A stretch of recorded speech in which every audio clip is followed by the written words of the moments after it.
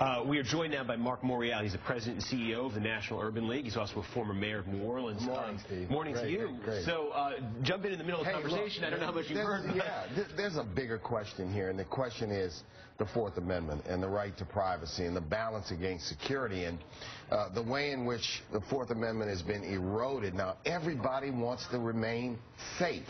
Uh, and that shouldn't really be the debate. It is the breadth and the scope of this that really caught caught my attention, and uh, and I think the disclosures thus far may not reveal the breadth of what the NSA is doing. And it's an important public debate. It's an important public disclosure because new technology uh, gives the NSA these awesome powers, the ability to really track uh, every American citizen. So this is a big discussion. It's a big debate. And it's about public policy. It's about the Constitution. It's about the right to privacy.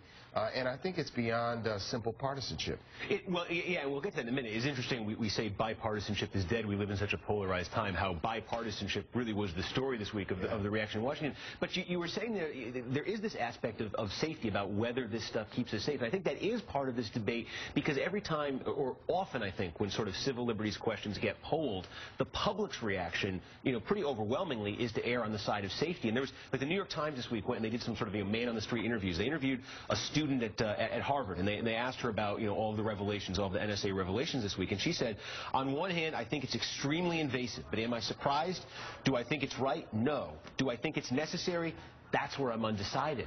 And, and Liza, I, I kind of keep coming back to that because there was I, there was a little pushback it seemed from the government this week where they where the story was sort of put out there that the the, the sort of um, prospective New York City subway bomber a few years ago may have been caught through in, part through this PRISM program through sort of the, the monitoring of foreign you know email account activity. There was a I guess an Al Qaeda uh, linked email account that uh, maybe was able to be monitored through PRISM. I know there's some dispute about all the specifics here, but that's an example. I think when you, when you talk to, to members the public, they think of that maybe first uh, when these questions are raised. Hey, the New York City subways weren't blown up because of something like this.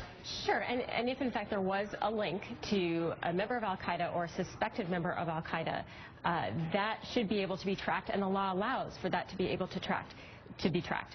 The key is that there needs to be some link to a suspected terrorist or a suspected terrorist plot or suspected criminal activity. Where the line is when we start doing this dragnet surveillance uh, as under the telephone records program or under the PRISM program it appears that even though the target is supposed to be foreign intelligence uh, the program is tolerating a massive amount of what they call incidental collection. I, I guess I guess that's that's the key point to me because I, I I remember we, we kind of went through this in, in the torture debate. It reminds me a little bit of where you know it's it's not only is torture morally wrong the case would be, but torture also doesn't actually get you any any material, any information, valuable information you wouldn't otherwise have. Is that is that the case here? Are you confident, you know, or, Marc, Well, you know, that, that we wouldn't be getting anything we aren't getting The through this question is whether ongoing monitoring of every United States citizen's telephone accounts, who they call, uh, when they make the call, how long the call is, is in fact an effective tool. And the reason why